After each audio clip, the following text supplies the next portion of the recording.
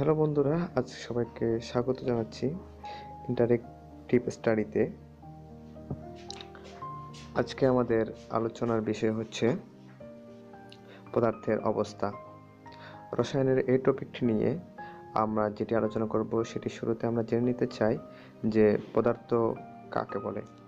পদার্থের ক্ষেত্রে আমরা তিনটি বৈশিষ্ট্য নিরূপণ করি। সেটি হচ্ছে ভর থাকা জায়গা দখল করা এবং বল প্রয়োগে বাধা প্রয়োগ করা। তিনটি বৈশিষ্ট্য থাকলে আমরা তাকে পদার্থ বলে থাকি। তো পদার্থের তিনটি অবস্থা আমরা দেখে থাকি, সেগুলো হচ্ছে কঠিন, তরল এবং বায়বীয়। কঠিন পদার্থের ক্ষেত্রে আন্ত আণবিক আকর্ষণ বল সবচেয়ে বেশি থাকে, আকার ও আয়তন নির্দিষ্ট থাকে এবং অণুগুলো নিচের স্থানে কম্পিত হতে থাকে। তরল পদার্থের ক্ষেত্রে আন্ত আণবিক আকর্ষণ বল সবচেয়ে কম থাকে আর পদার্থের নির্দিষ্ট আকার থাকে না এই কারণে শুধুমাত্র আয়তন থাকে। বায়বীয় পদার্থের আন্ত আণবিক আকর্ষণ বল নেই বললেই চলে।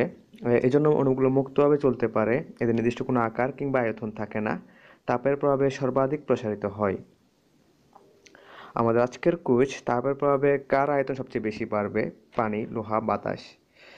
প্রশ্নের উত্তর কমেন্ট বক্সে জানিয়ে দাও।